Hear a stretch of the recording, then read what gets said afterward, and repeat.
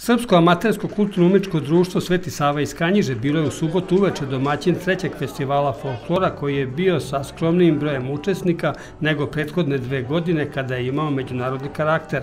Pored folklornih ansambala domaćina nastupili su gosti iz Kud Đido iz Bečaja, Kud Jandrija Tomićić iz Krajišnika i Srpskog kulturnog centra Vuk Karadžić iz Bačke Topole, koji su se brojnoj publici predstavili na letnoj pozornici u dvorištu doma Sakud Sveti Sava. Ove godine izostala je podrška na konkursu kompanije NIS, pa je festival održan zahvaljujući sredstvima lokalne samouprave.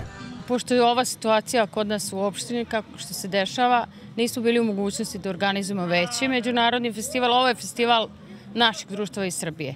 A prošle godine je bio veći i došli su iz Hrvatske, iz Rumunije, iz e, Bosne i Hercegovine, iz Mađarske i bilo nas je oko 12-13 društava.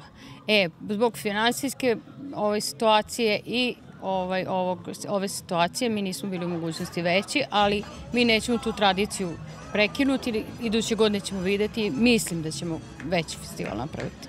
Ove godine nisa dobila očekivanu podršku na konkursu NISA kao prethodnih godina.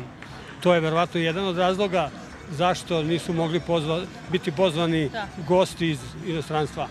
Pa to je jedan malo veći razlog. Zbog toga je, mi smo očekivali nešto para da dobijemo od njih, jer nismo mogućnosti mi da obezbedimo i hranu i piće za sve te goste, sve te učesnike. Prošle godine je bilo preko 400 učesnika. Znači treba ih dočekati, prenoćište, platiti, sve to mi nismo bili u mogućnosti.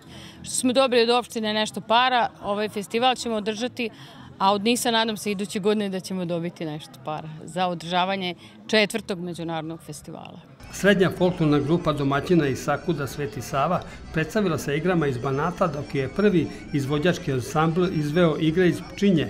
Iako je bilo sa skromnijim brojem učesnika, bilo je veselo i razigrano folklorni ansambli iz Kanjiže, takođe i gosti iz Bečeja, Bačke Topole i Krajišnika pobrali su aplauze publike učesnicima festivala. Na završetku programa domaćini su uručili zahvalnice, a potom je priređeno veselje uz muziku, pesmu i igru.